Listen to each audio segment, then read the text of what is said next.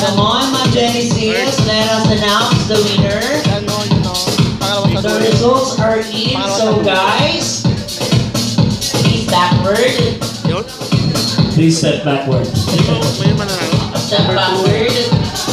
Sideward and forward. Going to the backward. Yes. Gwapo bago sa pansilan. We have here uh, the uh, Tatay. the ranking actually. The title, the first, the second, and the third. The fourth for wood, the third for fire, the second for air, and the first for water. And of course, the Grand Ginoong Earth 2017. But before that, let us award another um, uh, complimentary here. We have coming from the organizers at ang nag-award organizer din at the same time. Sino sila din po mga kaibigan? Nasa si Sir Kokoy. You have a token of uh, appreciation here. Mr. Kokoy.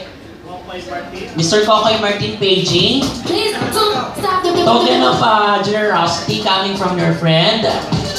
Ayaw mo po ba? This is $200 US dollars. Wow, pasabog. Palagpakan naman natin si Mama, makakatsaba ng bongga later. Siyempre, one time lang ang pinakamahal sa lalaki, ha? Focus sa wala. Oy, mag-take ano, you masasabi can. po masasabi niyo sa nagawa? you. Speech. Thank you. Ay! Salamat po, Kura Paruko. Kayo po ay blessed.